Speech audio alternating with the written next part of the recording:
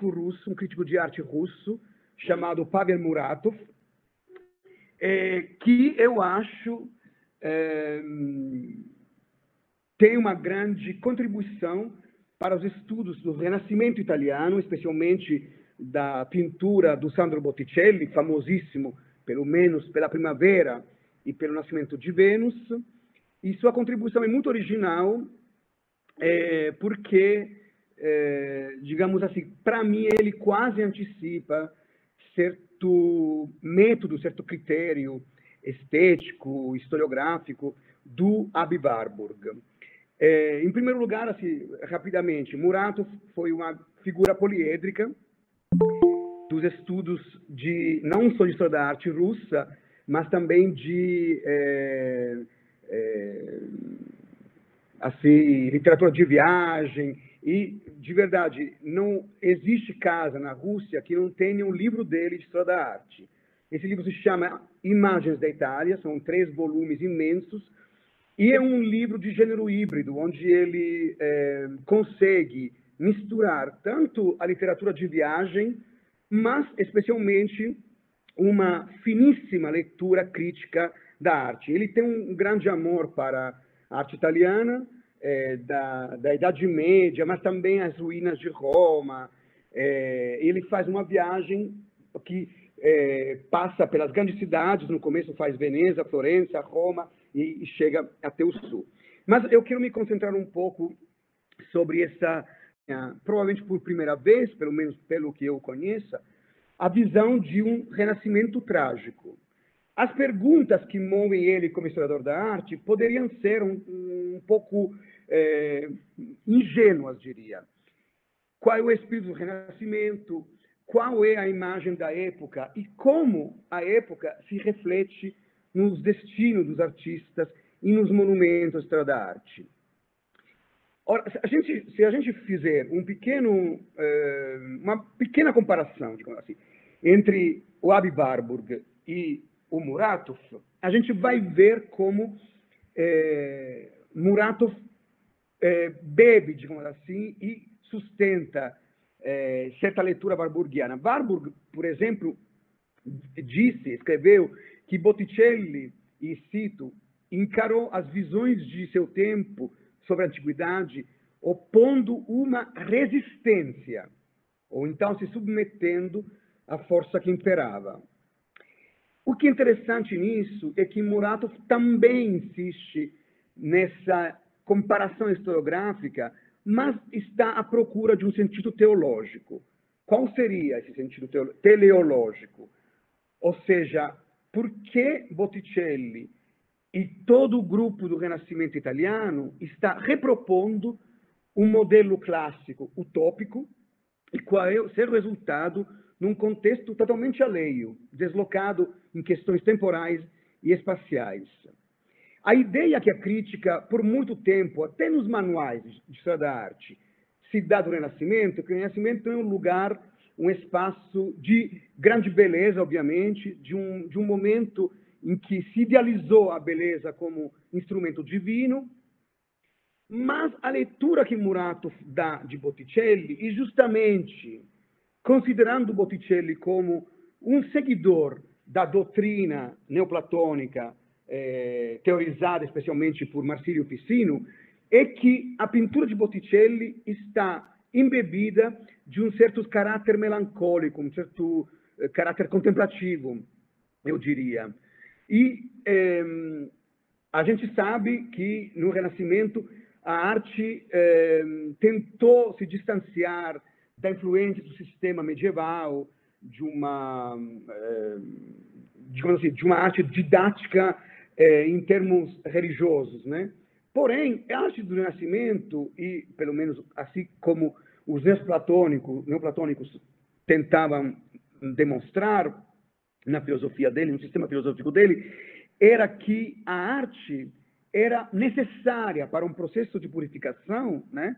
é, de forma que do, é, do mundo da matéria, da terra, podia se ascender pelo impulso dado do pintor à arte ao universo superior do espírito. O problema, não é problema, eu digo isso entre aspas, né, é que uh, no lugar dos, uh, dos elementos tradicionais, iconográficos, religiosos da Idade Média, começaram a se substituir e reabilitar eh, as figuras mitológicas. E é interessante esse assunto, né? Mundo, mundo profano se substitui ao mundo sagrado. Botticelli, hum, perdão, Muratov não acredita totalmente nesse assunto.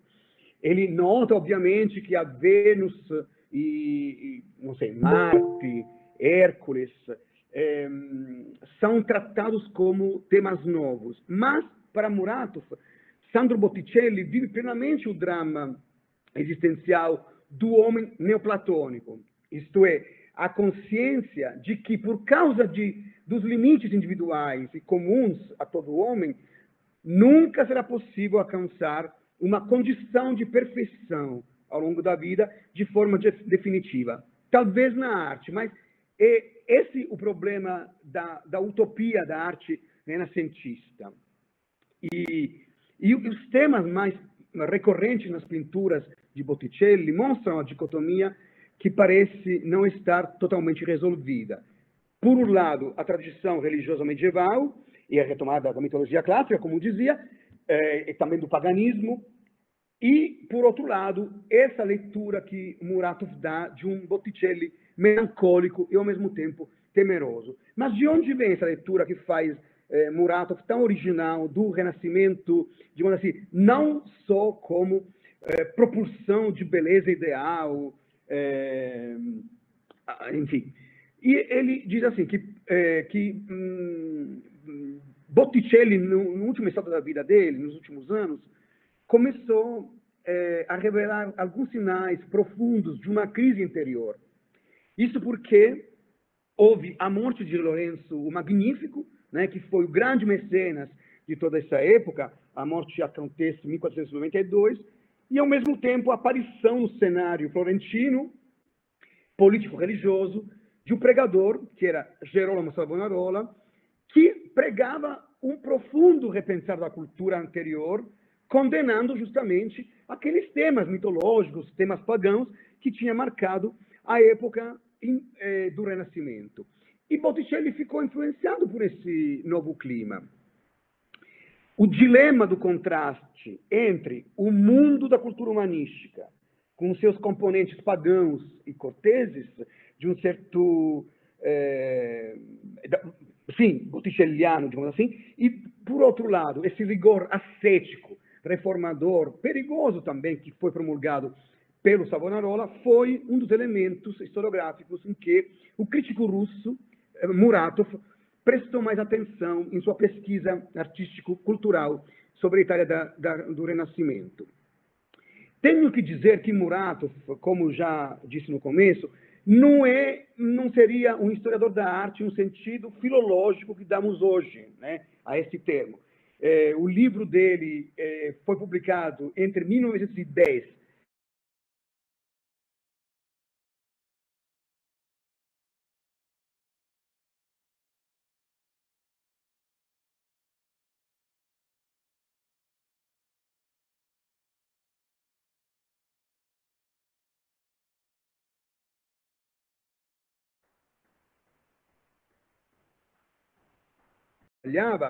a ideia dele era tentar é, misturar a história da arte com uma proposta de guia turístico quase. Mas ele se inspirou uh, em grandes historiadores da arte, como Venturi, o Belfrin, o Burkhardt, e especialmente Bernard Berenson, que foi também um amigo dele com quem ele dialogava. Então, assim, de uma, eu acho que não pode ser reduzido a um mero reprodutor de sensações estéticas eh, de viagens. Eh, de toda forma, o, o que interessa eh, o crítico russo é ver as mudanças trágicas no final da era do 400. Muratov diz que, no fundo, o renascimento italiano, que tanto a gente admira quando vai para Florença, especialmente em Siena e tal, é, onde tudo parece uma eterna juventude, no fundo, no fundo, nasce trágico. pois ele sublinha que as facetas temporais eh, e do espírito daquela época eh, são destinadas a perpetuar-se na ideia de carpe diem, ou seja, o que Lourenço Magnífico dizia na poesia, que do amanhã não há nenhuma certeza.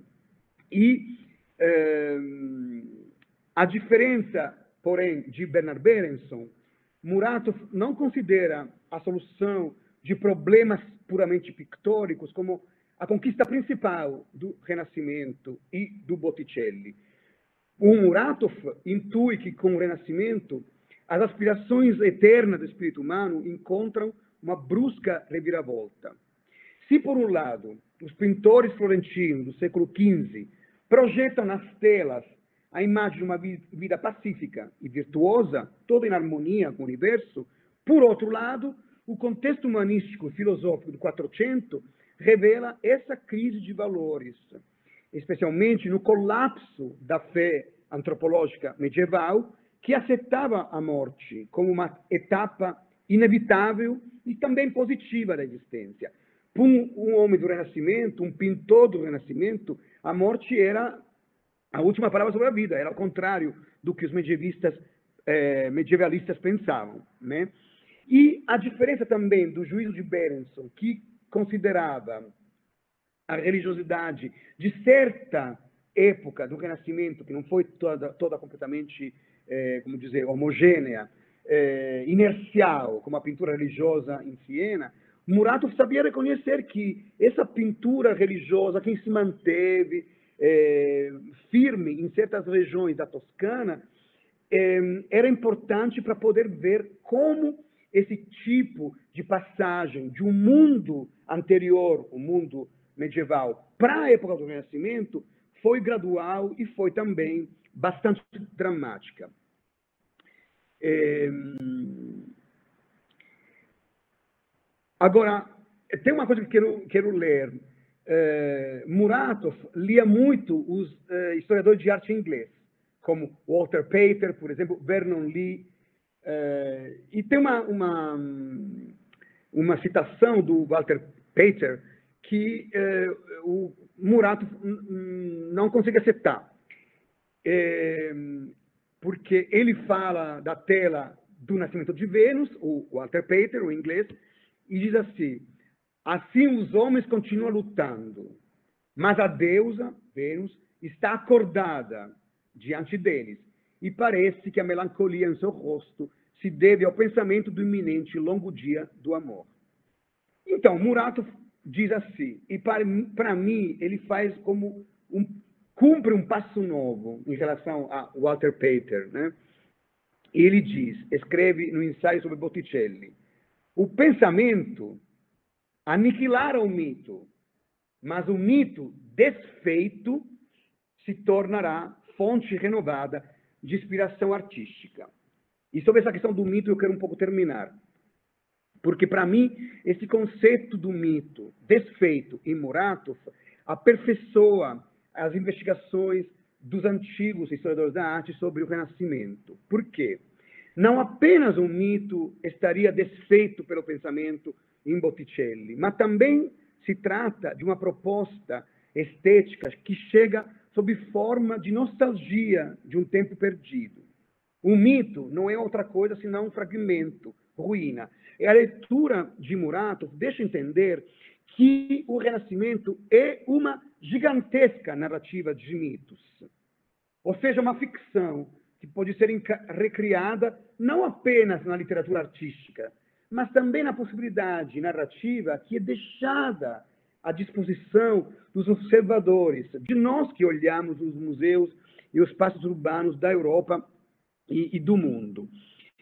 E é nessa perspectiva, então, que Muratov, apesar de não poder concordar com certa leitura assim, filológica, comparativista eh, de Abbe Warburg, antecipa a noção warburgiana sobre o que a história da arte não é uma disciplina que resgata apenas o passado, mas é um fenômeno que desvela uma temporalidade super partes, uma temporalidade que perpassa o tempo e é capaz de recriar mitos, como se ela mesma, a história da arte, fosse um mito revelador de uma sacralidade oculta que se transforma ao longo do século. Então, não é uma disciplina morta, exangue, como uma, uma repetição de, de, histórias né, em si.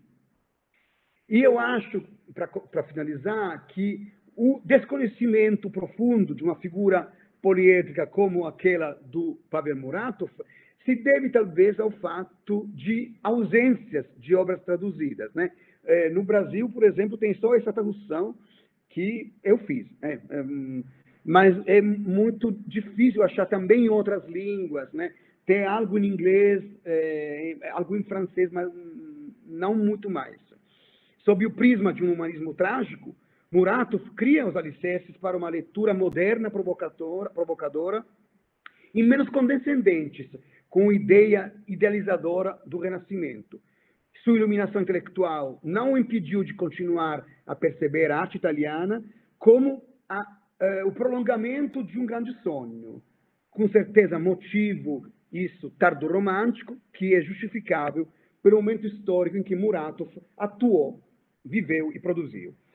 É, muito obrigado, gente. Depois estou aberto a um debate se, se estão com vontade de perguntar.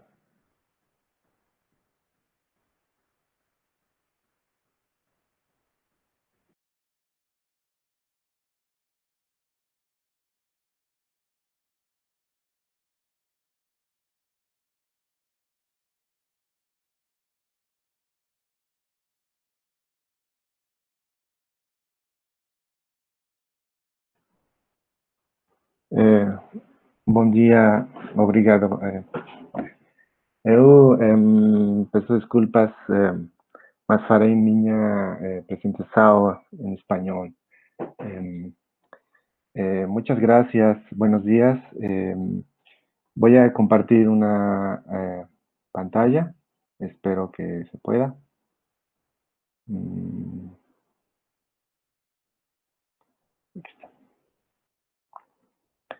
Eh, bueno, mi presentación se llama Lo Humano Distribuido, Artes Electrónicas desde México. Em, y eh, lo que quiero es eh, hacer una breve exposición acerca de lo que considero una historia o una genealogía de el antihumanismo en las artes electrónicas y también lo que podríamos llamar una genealogía del poshumanismo. Eh, esta investigación que presento forma parte, o más bien es continuación, de un trabajo que realicé y que fue recientemente publicado, eh, llamado Máquinas para descomponer la mirada, y cuyo título un poco busca también eh, ser una crítica a los proyectos del modernismo y el humanismo que todavía encontrábamos en los años 80 en la historia del arte en México. En ese libro, eh, una de las premisas que yo eh, planteé y que desarrollé fue eh, lo que yo he llamado la descomposición de la mirada modernista, la, descomposición de un tipo de mirada centrada en el estilo, en una historiografía del arte hecha desde la estética del estilo y que varios artistas que empezaron a trabajar con máquinas, con computadoras, en este caso con fotocopiadoras, en los años 80, 90, empezaron a desmantelar.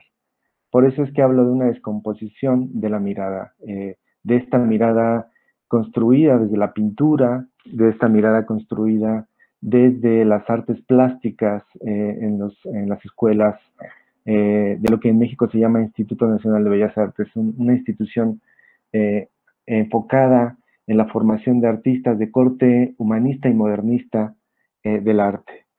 Eh, allí eh, también señalaba yo en ese libro que a partir del uso de tecnologías, los artistas empezaron a buscar otras formas de representación que se salieran de los esquemas tradicionales de la pintura, por ejemplo, del muralismo, de la pintura nacionalista, de la pintura de corte, digamos, modernista.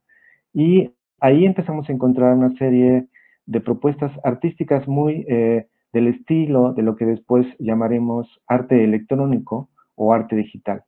Por ejemplo, en este proyecto, un proyecto realizado por un investigador en el cual construyó una máquina para dibujar, buscando un poco hacer una simbiosis entre la máquina y la mirada, con el afán un poco precisamente de romper esta preponderancia que plantea el humanismo ilustrado de el sujeto sobre eh, el lienzo, a partir de esta máquina que consistía prácticamente en un dispositivo que iba eh, registrando el movimiento de, los, eh, de la retina de los ojos y a partir de ello iba pintando sobre una plataforma, sobre el papel, como un ejercicio de simbiosis de posibles cyborgs a finales de los años 80, encontramos esta propuesta que buscaba de alguna manera romper con esa mirada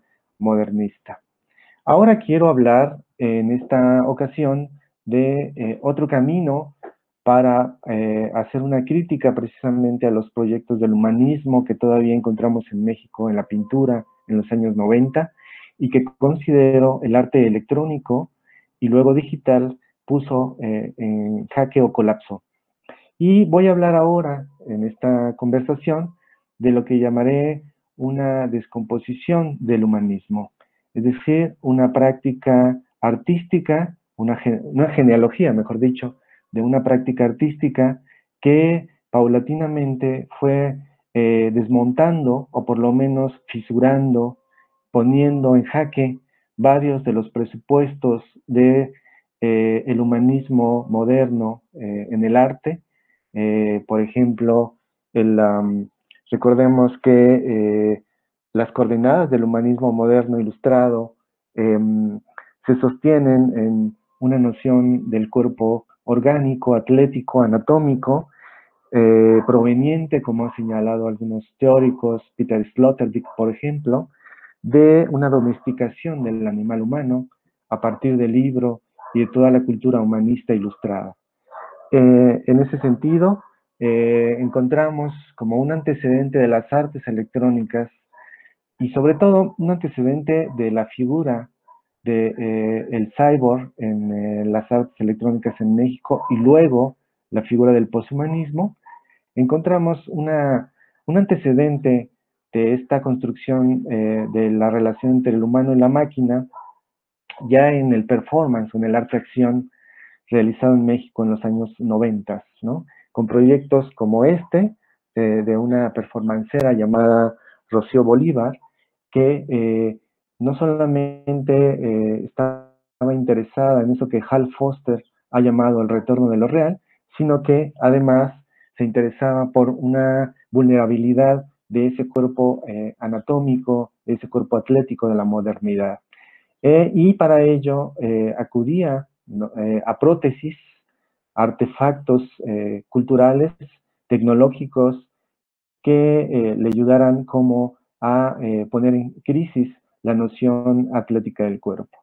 Lo mismo encontramos en artistas, por ejemplo, como Maris Bustamante, una artista muy importante en el performance en México de los años 70, perteneciente a los movimientos llamados los grupos, quien en este ejercicio, digamos, eh, que se llama Yotarzan, hace una crítica interesante mediante el uso de prótesis eh, al, tema del género, ¿no? al tema del machismo, al tema del hombre, a la preponderancia del hombre como el centro del cuerpo atlético.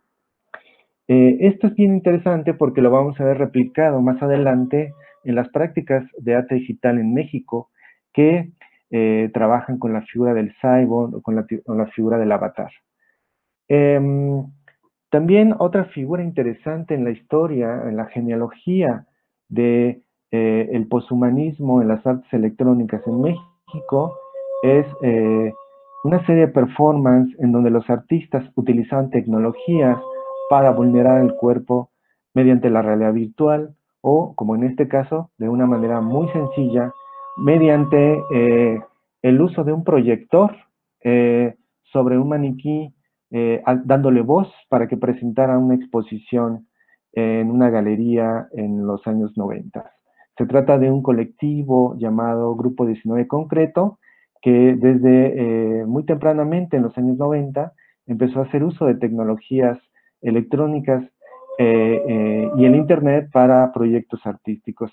En este caso, se trataba de un maniquí que hablaba mediante una proyección, haciendo un juego con la realidad virtual, pero también, perdón, con la realidad aumentada, pero también poniendo eh, en tela de juicio los proyectos modernizadores de la tecnología y los proyectos de una modernidad eh, propia de las eh, sociedades occidentales. ¿no? estos proyectos que, algún, que un curador mexicano llamado Cuauhtémoc Medina ha llamado proyectos de el modernizado para dar cuenta de artistas que lo que hacen es una ironía de los fracasos de la modernidad y de los fracasos de las tecnologizaciones en las sociedades como México.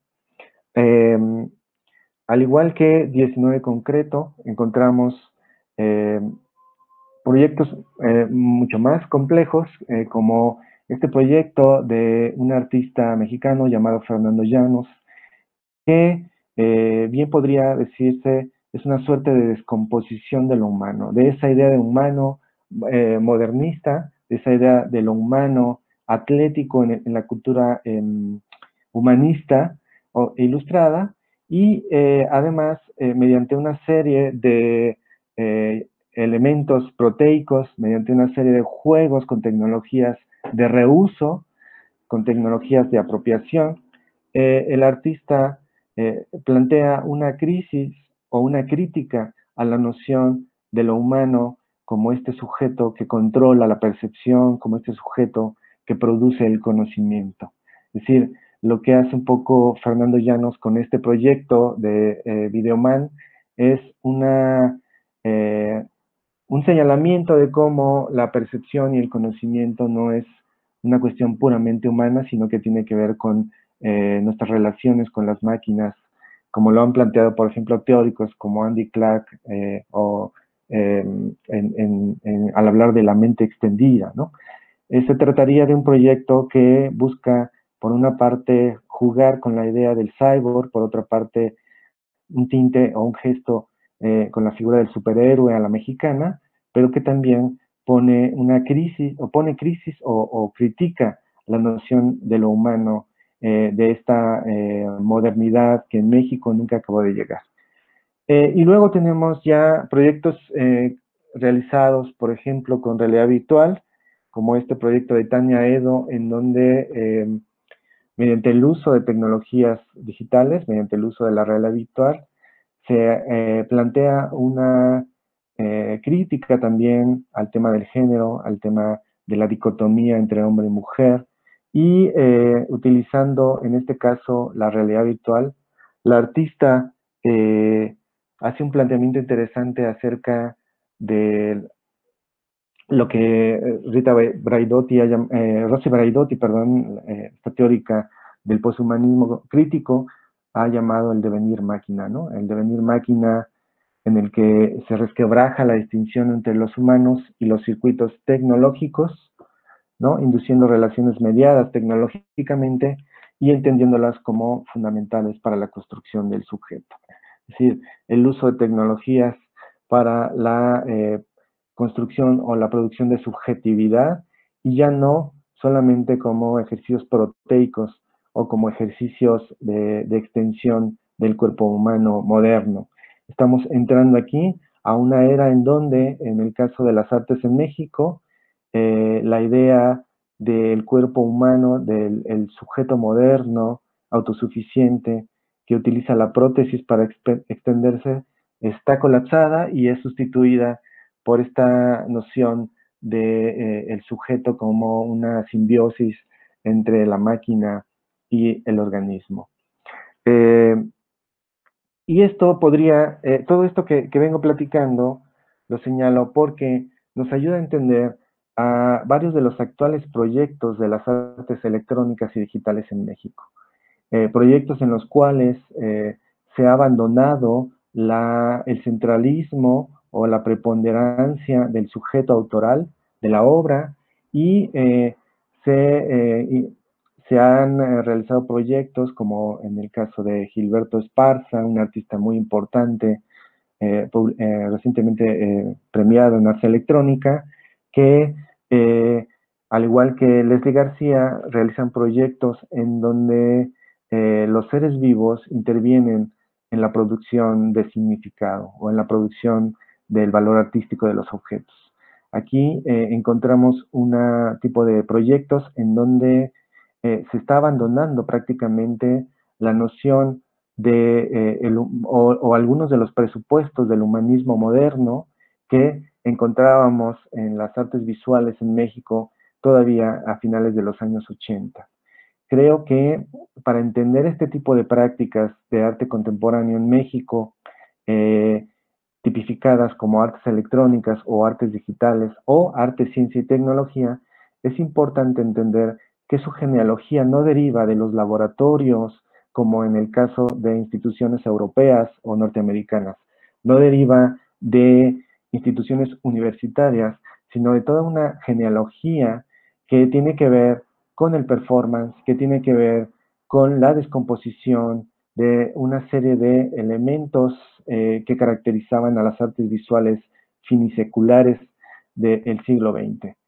Eh, estos artistas que hoy encontramos posicionados en el mundo contemporáneo de las artes digitales, eh, de alguna manera deben a esta genealogía de, o esta trayectoria o esta historia del arte marcada por el intento de varios artistas de salirse de los cánones, de las artes plásticas, de la pintura, que en el caso de México, por ejemplo, eh, ha sido muy difícil, porque México eh, hasta los años 80 era una, era una digamos, un país de pintores, de grabadores, de dibujantes, de escultores.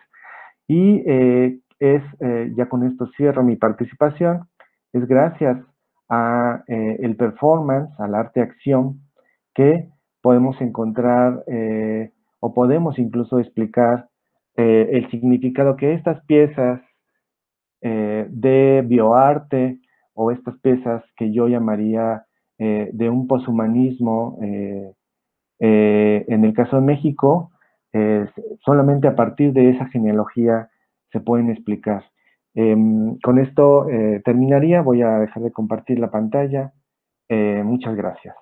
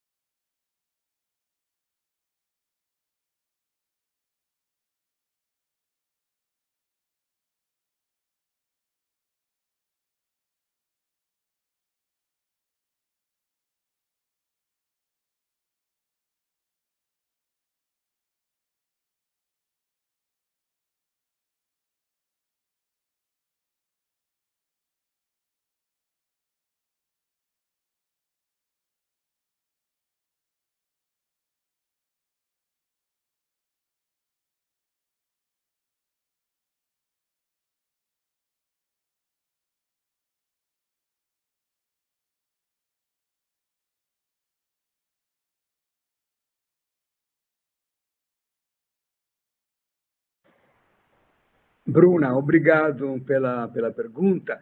Primeiro, eu quero fazer uma. Como se diz? É, queria dar uma adenda, né? Porque a, a, quando mandei esse resumo, eu estava numa mesa chamada Teoria da Arte. E me, me encontrei numa outra mesa chamada Dimensões da Arte. O que me pareceu super interessante, porque nesse caos, digamos assim, de coisas, o Jesus falou de outro mundo em relação ao meu, né? São as antípodas. Mas tem coisa muito interessante que ele falou que depois vou fazer uma pergunta para ele em relação justamente a esse meu campo de pesquisa. Bom, em relação à sua pergunta, Bruna, é, eu acho que você tocou o coração da leitura do crítico russo, do Pavel Muratov, é, que é aquele trecho que você leu e da tradução, né? Eu acho, dele mesmo. É, sim, o Botticelli não se rende ao universo cristão como é, um certo tipo de pintura que ainda oscila entre uma religiosidade medieval profunda, apesar de estar num contexto já renascentista, que é a pintura de, eh, da escola de Siena. O que, que eu acho interessante é que hum, Muratov enxerga por um lado, uma produção botticelliana que é totalmente pagã. E nisso, ele antecipa Barburg. Então, por exemplo, a primavera, o nascimento de Vênus, não há mais Madonnas. Aliás, quando ele é, pinta a famosa Madonna do Magnificat, Murat comenta justamente o trecho que você leu, dizendo que essa Madonna não é Madonna, não, não tem nada mais de religioso. Perdeu, ela, ela fica mais interessante pelo movimento, pela dança, pela sensação de tacticidade, por outros aspectos, até anatômico, mas certamente não por um, uma espécie de espiritualidade reproposta. Todavia, é isso que me, que me parece também interessante, Murato reconhece que em Botticelli não acaba nisso, que há, a um dado momento da produção dele, um repensamento, um repensamento é, devido talvez a um percurso histórico ou individual, mas que ele identifica com momentos em que certas, é, como dizer, uma, umas certezas existenciais devidas, por exemplo, à grande riqueza de Florença pela família dos Médicis, ou, hum, sei lá, por, por causa de novos ares, né? ele começa a se acuar. Né? E a parte final é uma parte mais é, onde ele mexe com o geométrico, mas ele procura dar uma mensagem diferente ou seja, uma mitologia lida de novo ao, ao, à luz de uma certa nova, novo espírito religioso, que não será nunca mais espírito do passado, né? Então tem essa, esse aspecto dicotômico em Botticelli. Não sei se respondi, é, com certeza é um, um, um campo super interessante, a meu ver.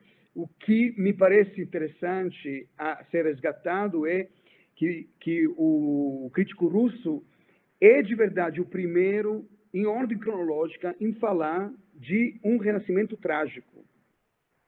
O que é muito difícil achar hoje em dia. Hoje em dia, tem alguns é, filósofos ou um, de estética, por exemplo, que trabalham sobre esse assunto, né, de uma filosofia trágica daquela época, né, como de um refúgio, né, não de um sistema, é, como dizer, propositivo, né? mas um sistema trágico e utópico ao mesmo tempo. Né? Se eu tiver um tempinho, eu queria perguntar uma coisa para o Jesus. Posso? Tá, mas você ficou satisfeita com a resposta, Bruna? obrigado, obrigado, não, agradeço. Jesus, eh, vou fazer uma pergunta em português, qualquer coisa você me pergunta em espanhol. Eh, como dizia antes, eu acho que as nossas duas apresentações trabalham sobre critérios totalmente as antípodas. Você fala de pós-humanismo, de, de transmodernidade, de, de anti-humanismo, né? Eu falo de pleno humanismo, no sentido tradicional, né, filológico do termo. Porém, eu notei é, na, na, sua fala uma é, proximidade é, em certos estudos do Renascimento que são totalmente futuristas. Por quê? Porque Leonardo, por exemplo, e vários arquitetos da época, da época pensavam na figura humana como uma figura perfeita, quase robótica. Claro que eles não tinham nem esse termo, nem o termo de cyborg. Né? Mas, por exemplo, o homem vitruviano de Leonardo é um homem perfeitamente humano, antropológico, mas especialmente utópico. Né? E até os estudos que o Leonardo faz sobre é, a tentativa de voar, de inventar é, um homem como pássaro, né? E como pensar no cyborg? Então, assim, eu lhe pergunto, se a gente poderia fazer uma ponte entre esses dois é, grandes, grandes conceitos ainda válidos hoje, né? Do cyborg, da máquina e também do humanismo e do anti-humanismo, e se você acha que, por exemplo, se poderia ler o Renascimento, né, claro, certas experiências estéticas do Renascimento, eh, como uma profecia de certos eh, questionamentos estéticos do dia de hoje, porque eu pensei que eu poderia ler, poderia, né, entre aspas, ler o Renascimento com a teoria da Rose Braidotti, por exemplo, ou da Donna Haraway. Né?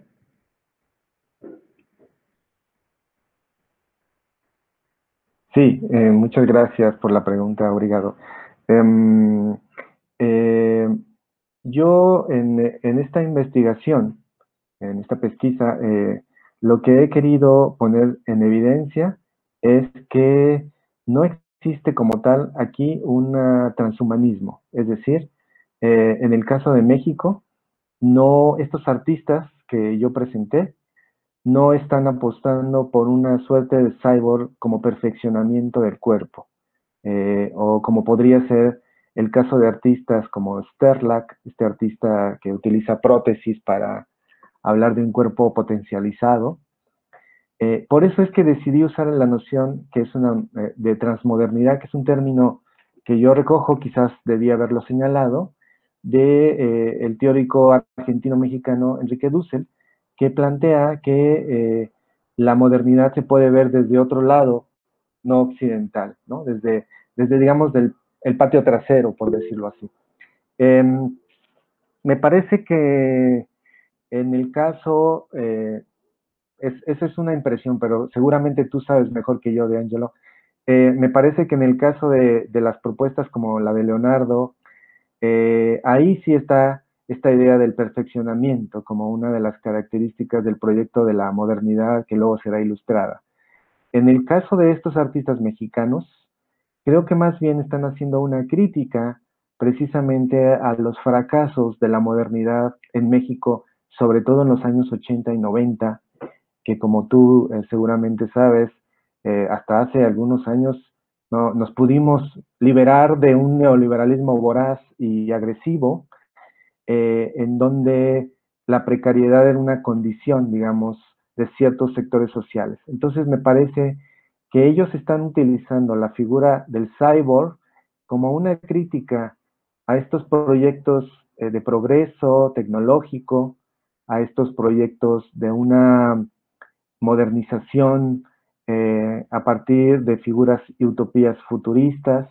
Eh, yo creo que, por ejemplo, estarían más cercanos a esta literatura del cyberpunk, de ciencia ficción del tipo neuromante, por ejemplo, ¿no? Y, em, y creo que eh, eso explica un poquito el, el poshumanismo de estos artistas que ya trabajan con plantas, que trabajan con máquinas, que eh, sobreviven, utilizo la palabra sobrevivir entre comillas, mediante su relación con otro tipo de sustancias, sustancias que podrían ser sustancias vivas. En ese sentido, em, yo creo que el poshumanismo de, los artistas que trabajan en México o que producen desde México tiene que ver más con una tradición que viene primero de un antihumanismo o una crítica a los proyectos de este cuerpo perfecto o de este cuerpo potencializado por máquinas. Creo que eh, eh, tiene que ver más con un eh, antihumanismo, una, por eso me gusta el término con el que titulé el libro de descomposición, porque creo que es el arte, las artes electrónicas por esta vía que se nutrieron del performance o el arte acción, son artes que buscaron descomponer eh, la figura eh, moderna y humanista del cuerpo eh, perfeccionado, del cuerpo anatómico, atlético, y creo que ahí sí habría una distinción o una separación respecto, por ejemplo, a la idea eh, o estas máquinas de Leonardo, estas bellas máquinas de Leonardo y estos robots eh, que Leonardo eh, diseñó, en donde ahí, ahí, de lo poco que yo he leído sobre ello, se dice que eran en realidad estos, estos bocetos bellísimos de Leonardo de máquinas y, robots eran más bien conceptos que tenía Leonardo, ¿no? Sobre, sobre el ser humano, sobre eh, la relación con las máquinas desde este humanismo eh, temprano, eh, que en el caso de México no, no creo que, que sea por ahí.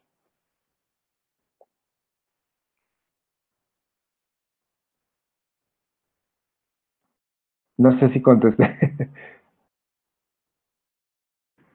Sí, sí, absolutamente. Muchas gracias.